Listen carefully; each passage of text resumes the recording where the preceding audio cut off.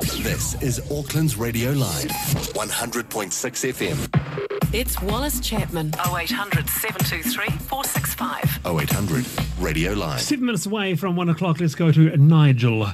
Nigel, are you there? How are you, Wallace? Good, thank you. Thanks for waiting.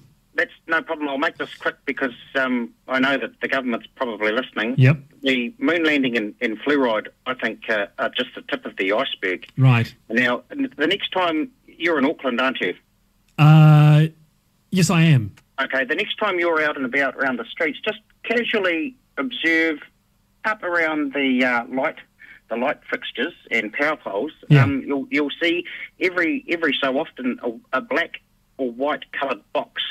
Now, in those boxes is, is technology that's tracking and recording your cell phone location, um, and that feeds back to the SIS.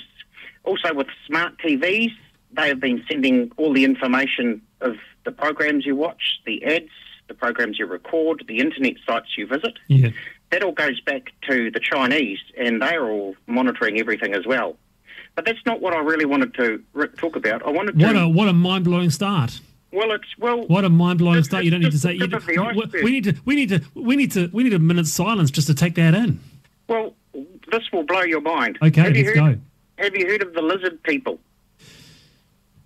The lizard people are here on Earth, and Helen Clark is, is, is, is quite high up in the lizard people ranks. Now, that's quite easy to tell because her disguise has started to not work properly.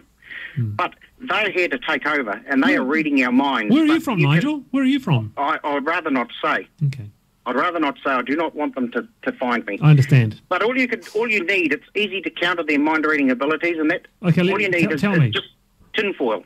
Yep. And I'll- you I'll- can me- I've, got, a- I've got a pen. I've got. Excellent.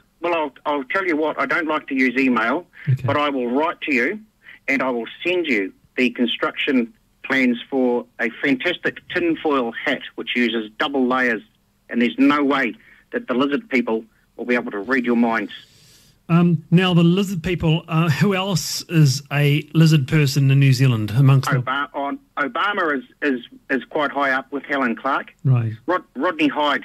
I'm, I'm, the jury's still out on Rodney Hide. Yep. But you can tell with Rodney the way he licks his lips. Mm, interesting, isn't it? Okay. Nigel, th- thanks for the word of caution, and I really appreciate. it. And on the moon landings, did they go to the moon?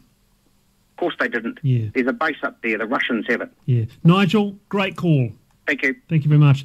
Um, right, I'll just uh, think about that for a 10 seconds.